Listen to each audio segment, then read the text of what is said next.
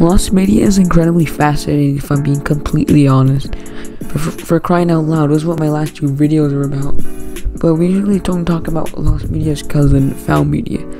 Lost media is interesting, but I think found media is as interesting, or even in some more cases, more interesting. So that's why today I'll be talking about five pieces of found media. But before we start, let me clarify some rules before we start. So firstly, I'll be talking about lesser known pieces of found media. So no Clockman or Crackmaster, those videos will get their own video someday. And I'll be talking about media that's completely found, so no partially lost media. With that being said, let's start the countdown. California Raisins are a group of mascots for dried raisins who were popularized by a series of stop motion television commercials.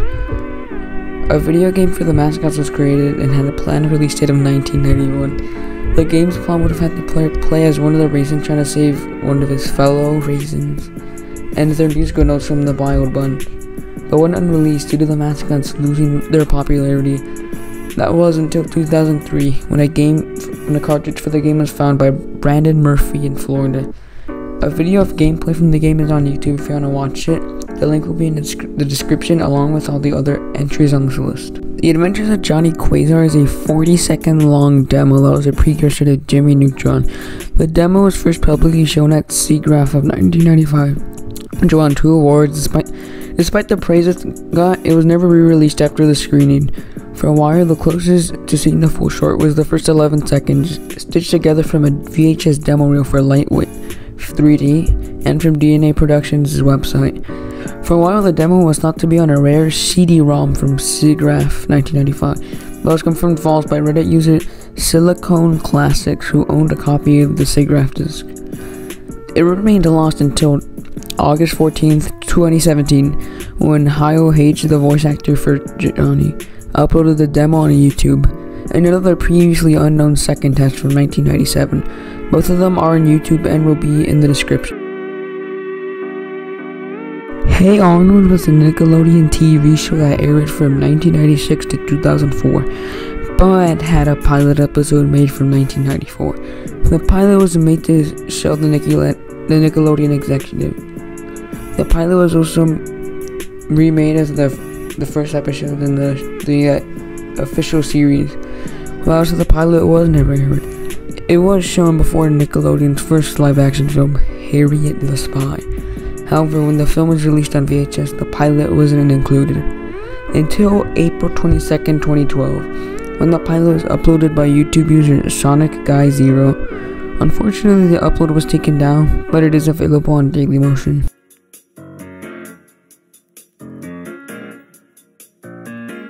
Rapsittie Street Kids Believe in Santa was a 2002 CGI animated Christmas special which aired on WB on Christmas Day 2002.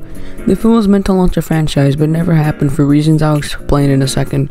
The film had a cast of surprisingly well known voice actors, including Mark Hamill of all people. The film was heavily panned by both critics and reviewers, mainly because of its terrible animation. I think you clearly know where the budget of the film went. The film teased a possible sequel that would have been called A Bunny's Tale, but never happened due to the negative reception of the first film. For a while, the only footage from the film was, from a demo reel which Wolf Tracer Studios, the production company for the film. That was until September 13th, 2015, when Dycaite, the founder of the Lost Media Wiki, was given a copy of the film and released it. If you want to watch the film, prepare your eyes, because it's an experience to say the very least. Wallace and Smokey was an animated anti-fire public information film that was made by Aardman Animations. It's usually used as a close down for the BBC. If you don't know what a television close down is, it is basically a send off for the program for the night. Because yes, television wasn't always 24 7.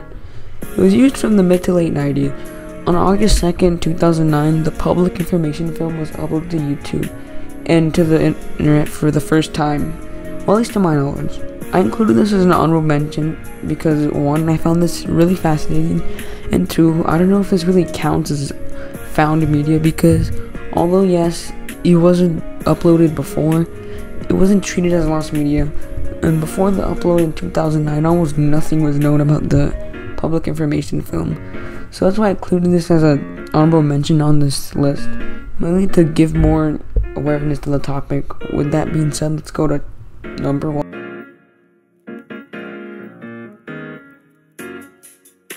Ready and Steady was a 1979 song created by the musical artist D.A.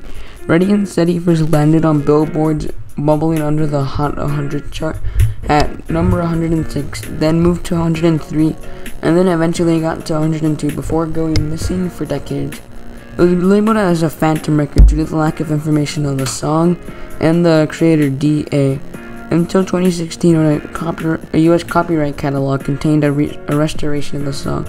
The catalog was created in 1986 with with authorship from D.A. Lucy, hope I'm saying that right, and Jim Frings. Then the, the song was then featured on the Crap from the Past video and is easily accessible on YouTube and will be in the description.